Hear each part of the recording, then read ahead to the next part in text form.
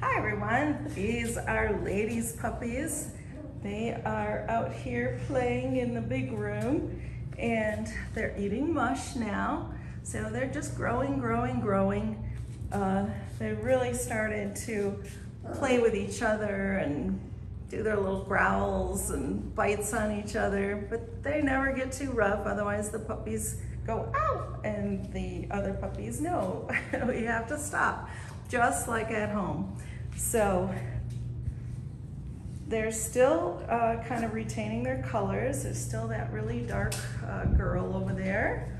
And then some of these other ones, it almost seems like they're darkening just a little bit. And then we still have our kind of light champagne colored ones too. This is a big litter. These are uh, gonna be some really, really pretty puppies when they grow up. So um, I guess we could try and go through uh, uh, girls and boys. Kylie, what do you have?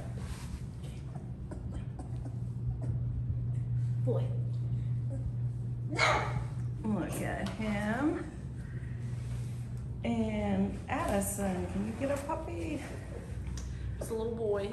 There we go. Try and keep him straight. There's another little boy. Oh, little boy. very cute. Let me zoom in on him. Oh, they all have those cute little faces. This is also a boy. He's one that got that dot on. Is this the litter that has a lot of boys, or we just happen to be There's picking up the boys. boys? There's Uh, all right. Both girls. Okay. Yeah, six Carissa boys. has a little girl there.